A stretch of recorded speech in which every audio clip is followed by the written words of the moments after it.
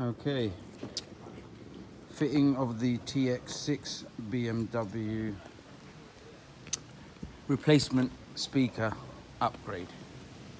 And this is an upgrade. This isn't a plug and play install. Um, it does require modification. Uh, you will have clearance issues behind the mid-range speaker.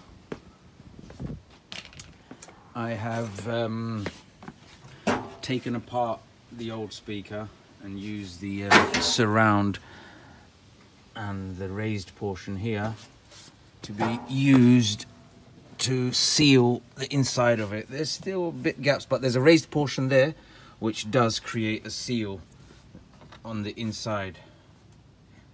And I haven't put an amplifier on them yet that's to come. I'm still waiting on the wires. Uh, once I do that, I'm going to rewire the entire car. And also, uh, I'm going to put some speaker rings to, uh, in effect, create a speaker enclosure to get a better mid-bass response. Now, you won't get much mid-bass out of those. About 80% of your musical information, remember, does come from your mids and tweets only 20% of the acoustic information comes from subwoofers. So I have so far three auxiliary batteries, uh, one battery under the bonnet, so that's four batteries in total.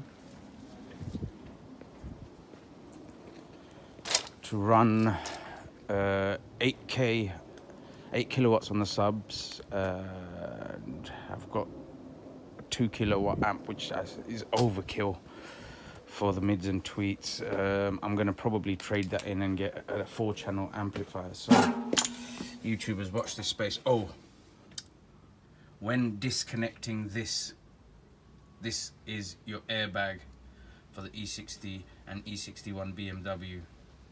Make sure to disconnect the negative terminal on your battery. Otherwise you could inadvertently cause it to deploy. It's not pleasant having explosives go off in your face. Albeit a small amount, still. Be careful.